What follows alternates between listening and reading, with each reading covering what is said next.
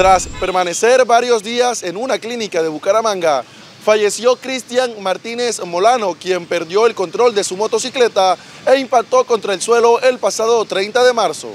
Tras permanecer en una clínica de la ciudad de Bucaramanga, murió el joven Cristian Martínez Molano después de haber sufrido un accidente de tránsito al perder el control de su motocicleta. El cadáver fue trasladado por la policía de tránsito hasta medicina legal para la necropsia de rigor. En las próximas horas será trasladado a su lugar de origen para su sepelio.